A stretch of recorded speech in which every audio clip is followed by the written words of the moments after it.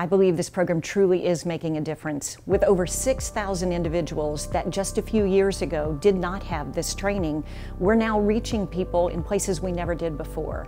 And we hear the feedback from individuals, sometimes just days or weeks after they've taken the program, when they've encountered someone that maybe in the past they would have questioned if there was a problem or maybe not even seen the problem. For me, it's an opportunity to bridge the gap between professional help and community resources.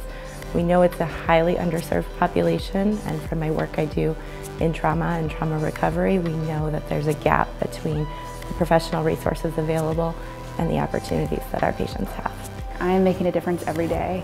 I have an amazing partner going through every single workshop. We get to make connections with different people. We learn about their lives, we share our stories, and then when we leave here, there's always something that I take away from every single workshop and every single one of those connections. I took the mental health training because we had a situation in our family and I wanted to know more about it. Um, I think everything we do for mental health is great. When we are having a physical problem, we seek physical a, a doctor but there's so many stigmas about going to a mental health professional to seek any kind of help. And it's my desire that we just break that stigma. When you look at national, regional, local statistics and the stories in the news, as I say that right now, you are thinking about a person that either committed suicide, attempted suicide, they're a national figure, they're your neighbor, or so forth. Um, and so we know the magnitude. We don't need the statistics, but we realize that um, our nation is in a place, because of social media and the, and the lot, that we are experiencing these challenges around mental illness. So it's, it's where we have to be. The Florida Department of Health in 2017 reported just in the city and county of Duval that we had over 10,000 hospitalizations due to just mental illness. Now in 2018, they estimated the amount of adults with a serious mental health issue was 26,600 people. That's almost 27,000 people in our community alone. I think the takeaways from the class are that you will have the resources and the tools that you need in order to approach someone that you feel is having a mental health crisis.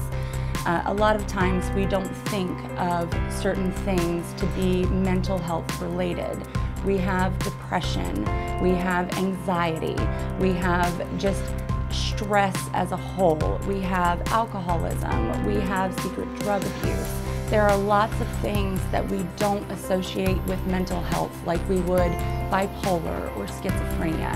And those things are properly addressed in this class so that the resources that they take out into the community, they can recognize those sorts of behaviors and possibly help.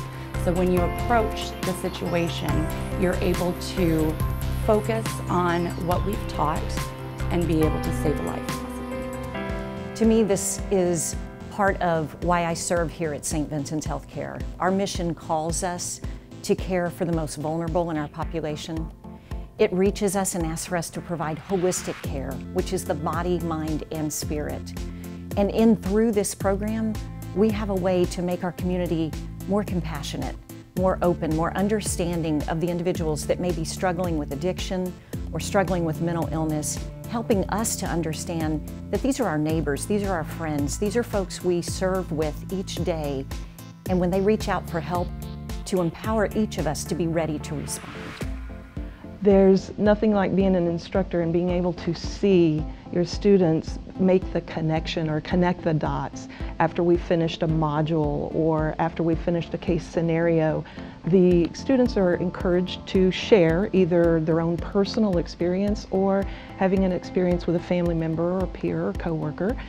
And um, whenever they make that connection or that light bulb goes off or the aha moment, um, it, you really can see that knowledge that we're teaching become knowledge into the, the person so that they can utilize that. I have had a few friends that I've encouraged professional help with their problems and because while we may be able to listen to them non-judgmentally, assess for risk of suicide or self-harm, we can't actually be the ones to help them where they might need help. It could be a chemical imbalance, it could be so many other things that might be wrong that a doctor can help them with better than we might be able to.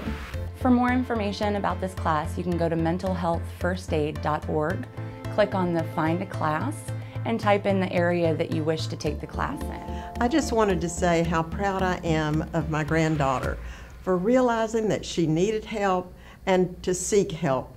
That's all we need to do, and let's stop and break the stigma.